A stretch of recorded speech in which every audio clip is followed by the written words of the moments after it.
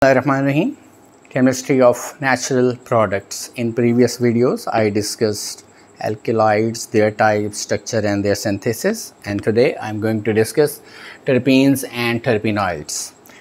So first of all, let's see their introduction and their applications. These are the naturally occurring organic compounds. These are isolated from plants and these are present in essential plant oils. So terpenes and terpenoids they show extensive pharmacological properties as well as many medicinal uh, applications their herbal remedies. So they give fragrance hence these are used in perfume industry. For example characteristic odor or fragrance in eucalyptus tree is due to the presence of terpenoids. So yellow color of the petals of sunflower this is due to the uh, presence of terpenoids. The red color of tomato is also due to the terpenoids. Sterols and steroids are derived from these class of compound and terpenoids they protect the plant from the pathogens. So terpenes and terpenoids are formed by the combination of one or more isoprenoid unit. So this is 5 carbon structure IUPAC name is 2-methyl-1,3-butadiene. So this is the repeating unit or the basic structural unit of the terpenes as well as terpenoids. What is the difference between terpenes and terpenoids? If the organic compound is formed only by the combination of isoprenoid unit then terpenes are formed. Terpenes are simply hydrocarbon formed from isoprenoid units. They contain carbon-carbon double bond as functional group and their few examples are given here. While terpenoids are modified family of terpenes. So in addition to carbon double bond, they also contain other functional group and the other functional group usually contain oxygen. For example, citral, menthol, etc. So first let's see the classification of terpenes. So terpenes are classified on the basis of presence of isoprenoid unit.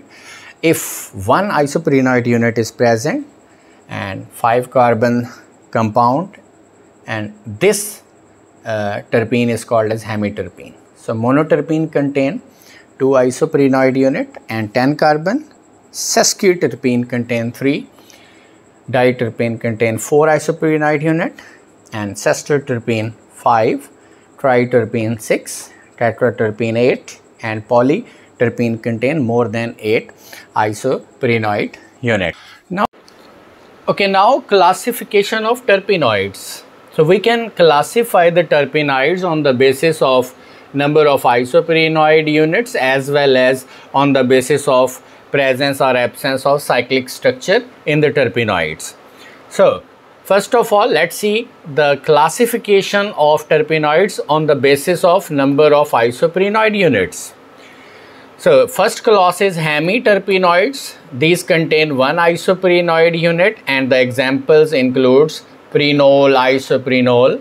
So, monoterpenoids contain two units and the examples are citral, camphor, Sesquiterpenoids contain three and uh, they includes farnesol. Diterpenoids contain four and their example is abietic acid. Sesquiterpenoids contain five isoprenoid unit and the terpenoid uh, includes in this class is androsten. Triterpenoids, these contain six isoprenoid unit and the example is squalene.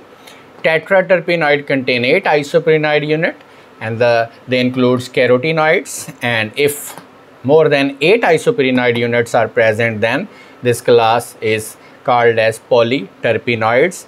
So on the basis of presence of cyclic structure so when the terpenoids do not contain any ring structure then th those includes in acyclic terpenoids for example citral and in menthol one cyclic ring is present. So these are classified as monocyclic terpenoids. Bicyclic terpenoids, uh, they contain two rings, uh, for example, beta-santonin. Tricyclic uh, terpenoids contain three ring in their structure for example abietic acid so this is all about uh, classification of terpenoids thank you very much